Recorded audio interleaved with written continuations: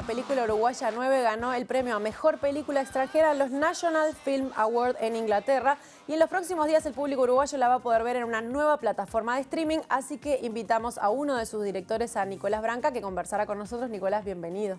Muchas gracias por la invitación. Felicitaciones por el premio, en primer lugar. ¿Cómo fue que llegaron a este festival? Y cómo tomaron esta terna, porque compitieron con la película de Almodóvar, con Madres Paralelas, con la última de los Oscars, con Drive My Car y con la, peor persona del mundo, que viene con muy buenas críticas. No tenemos ni idea. Un glitch en el sistema, la Matrix. No, no, no sabemos muy bien, tenemos algunas hipótesis.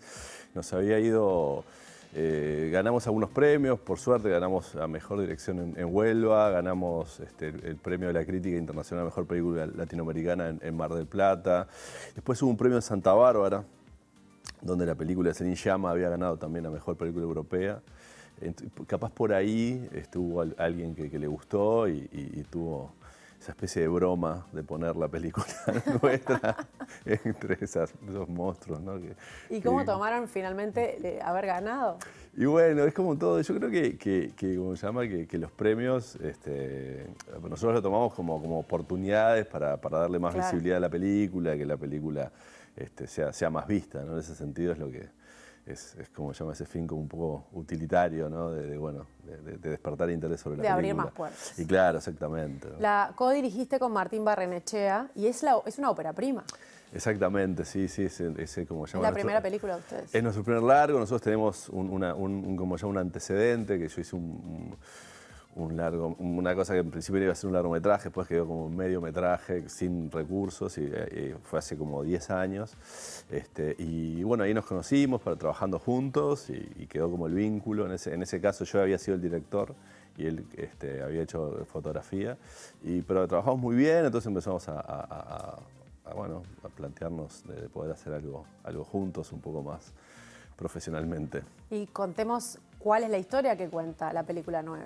Bueno, la historia que cuenta 9 es la de un futbolista elite que, que, que, que como llama, que es una película que si bien tiene un futbolista como, como, como, como protagonista, no, no, no hay fútbol. Exacto. No, hay un partido de fútbol, solo hay un picado entre amigos.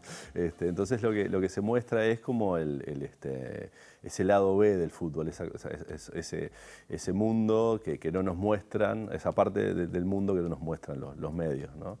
Este, desde un lugar como muy muy, muy sensible. ¿no? Este, la, historia es un jugador que comete una falta muy grave en un, en un, en un partido de fútbol, un jugador jovencísimo, este, que está en un momento de, pasar de ser una estrella a una mega estrella. Ocurre este incidente que él protagoniza. Que Estos pases históricos a Europa, ¿no? que todos los jugadores esperan. Ella está jugando en Europa, en un club, y va a pasar a un mega club. Este, pero ocurre este incidente que él protagoniza, que él eh, de alguna forma genera. Este, que, no se sabe muy bien qué es, pero que es muy grave y, trae una suspensión.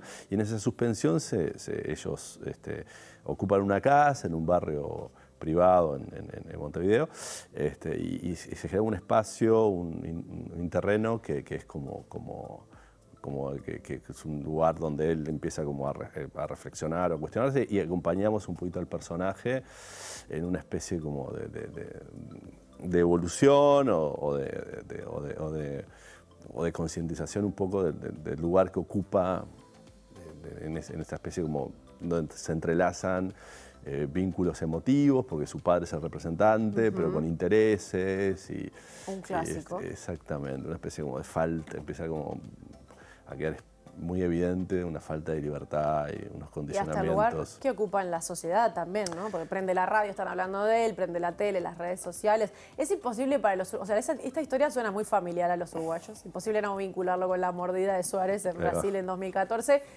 ¿Qué les pasa a ustedes con esa asociación que hacemos todos y que no es casual, obviamente? Claro, sí, sí. Para nosotros hay, como, está, está ese germen, o sea, el, germen del proyecto fue esa locura colectiva que vimos, este, que vivimos todos con, el tema Suárez. También eh, em, hay una cosa como casi metafórica, ¿no? Que yo, yo pasé eh, el, partido contra eh, Uruguay-Colombia, que fue el partido luego, del partido siguiente a la suspensión de Suárez. Este, yo pasé por enfrente a la casa donde Suárez estaba, que creo que era la casa de su madre, y había una especie tinglado con un montón de personas, multitudes, este, yendo a apoyar a Suárez, pero habían, habían armado una, una, pantalla gigante, puesto de panchos, una, cosa que era parapentes volando. había olvidado. Era una locura. Entonces, eh, yo lo primero que pensé es, qué alucinante estar, eh, eh, ser Suárez y ver todo eso desde esa ventana, desde la ventana de su casa y ver a, todos nosotros, ¿no? de alguna forma que representaban la, locura colectiva que estamos viviendo. Y, bueno, ese fue el germen del proyecto, como ver este, la, mirada del jugador respecto a, todo lo que ocurre, ¿no? en su entorno, pero también en la, en la sociedad. Está muy bien representada esta tensión que hay del casi encarcelado, ¿no? con esa fama y todo ese dinero, pero casi encarcelado en, en esa casa. Y me interesa mucho hablar del papel del padre, porque el padre también nos suena mucho. Tuvieron el padre con esta presión y con esta violencia, que es obvio que, también se la ha transmitido a él, ¿no? Él recibe mucha presión. El padre interpretado por Rafael Spregelburg, un actor argentino espectacular. ¿Ustedes para se inspiraron en algún caso real, hicieron una investigación, conversaron con alguien, porque es, muy real ese padre. Claro, no, en realidad este, hay, hay, hay algo que, que, ocurre que que, me parece que está también en, la idea como del proyecto, este, que era este, algunas, eh, nos interesaban este, para, para, para, esta película algunas referencias, este, que eran como dos referencias que nosotros teníamos este, bastante en, en, mente. Una era el Last Days de Gus Van Sant, que es el último día en la vida de Kurt Cobain, este, y, y, después eh, Elephant, que también es de Gus Van Sant y que tiene bueno, el incidente de Columbine, que es terrible, eh, como un hecho real, de bueno, un hecho real o, este, o cosas de la realidad como son llevadas al mundo de la ficción y de alguna manera se, como llama, se, reconfiguran o, podés dar luz sobre determinados aspectos de esa situación. En este caso, este, yo creo que el, tema era como, como esa especie como de espacio como de, locura y, de, fanatismo y muchas veces de violencia que, encontramos en el fútbol y que muchas veces encontramos en el epicentro de eso los jugadores, que en este caso es un jugador famoso, pero podría no serlo. ¿no? Entonces esos, esos vínculos eh, donde se entrelaza lo emocional, lo económico, lo, lo, lo, llama, lo sincero y lo insincero, este, nos parecía como muy, muy, muy, muy interesante porque en realidad es como, es, metes un drama muy humano, muy normal, eh, digo, de la vida puede ser de cada uno de nosotros, pero en un entorno que lo le, aprieta las perillas y lo maximiza, ¿no? Entonces ese padre, que es un padre este, que nosotros podemos capaz imaginárnoslo en un partido de fútbol, ¿no? gritándole a su hijo desde la línea de cal, este, está, eh, como se llama, y que, que, ocurre, ¿no? En el caso de los jugadores de fútbol no está tan blanqueado, había algunas, algunos ejemplos, nosotros hemos visto el padre de Messi o el padre de Neymar, pero no había tanta información. Nosotros accedimos a un libro que es, que es maravilloso, que es Open de Agassi. Que claro, es un gran libro. Cuenta su el vínculo. padre de Agassi, claro, no lo había vinculado con él porque, claro, es del tenis, pero... Claro, en el tenis pasa mucho Es una gran referencia el padre de Agassi. Además, nosotros, este, eh, ese libro es maravilloso, ¿no? Hay una, hay una parte que es increíble, que es cuando se conoce el padre de, él y con el padre de Steffi Graf, y se agarran a piñas. en el momento que se conocen para ver quién era el mejor jugador, o su hija, Steffi Graf o, Agassi. Entonces, nos parecía como, como, investigar en ese mundo. Este, y, llegamos a, ese personaje que es eh, Oscar, el, personaje, eh, como se llama, interpretado por Rafael, que, que, también era como una especie de, desafío, ¿no? Porque Rafael, este, nosotros lo conocíamos como el el dramaturgo, como súper sofisticado que es, este, y un actor que, bueno, que, hacía papeles más intelectuales, ¿no? Como el de la casa de al lado. Como el de la casa de al lado, este, exactamente. Bueno, si les parece, veamos un adelanto de la película de la que estamos hablando, la película nueva, y seguimos conversando. Quería aprovechar este medio para pedir disculpas por la situación que pasó en el partido frente a Colombia.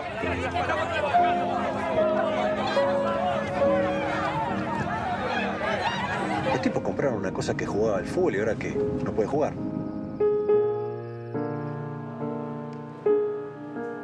Pero este pendejo nos cagó. A mí, a vos, cagó un pueblo, nos cagó a todos. ¿Le importó un carajo la selección? A veces me gustaría mandar toda la mierda. ¡No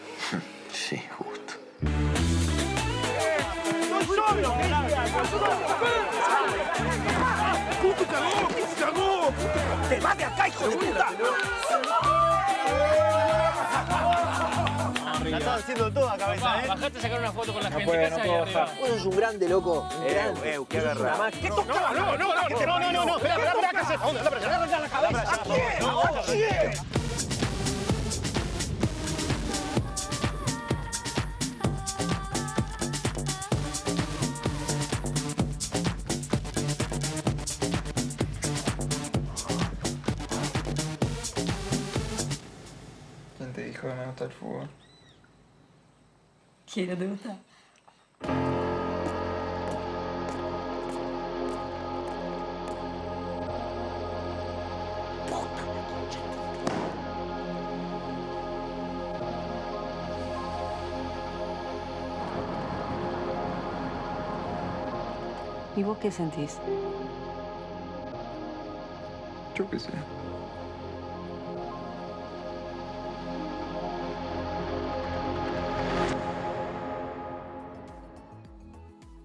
Estábamos viendo un adelanto de la película 9, estamos conversando con uno de sus codirectores, con uno de sus directores, Nicolás Branca. Tenemos que hablar de Enzo, el protagonista, que interpreta a un perfecto jugador de fútbol. ¿Cómo Sí. llegaron a él? ¿Cómo lograron esta interpretación? Bueno, nosotros un poquito con las referencias que te había dicho, el, el- el- el- el- el objetivo de la película era, era, era construir este, un, como ya un relato lo más naturalista posible. ¿no? Eh, en ese sentido, este, el actor principal era, era un, un desafío particular. Este, y en el casting nos encontramos con Enzo, que, que- que- que- es un tipo, un actor talentosísimo y, que tenía una historia muy, muy particular que se vinculaba también con, con- con el mundo que nosotros queríamos, este, eh, eh, como se llama, representar. Que Enzo es hijo de un jugador de fútbol, este, hijo de un jugador de fútbol de la- eh, que jugó en la selección uruguaya y que salió este, campeón en, en, este, en Cannes, en, el último este, título que la selección juvenil uruguaya ganó en Europa. ¿no?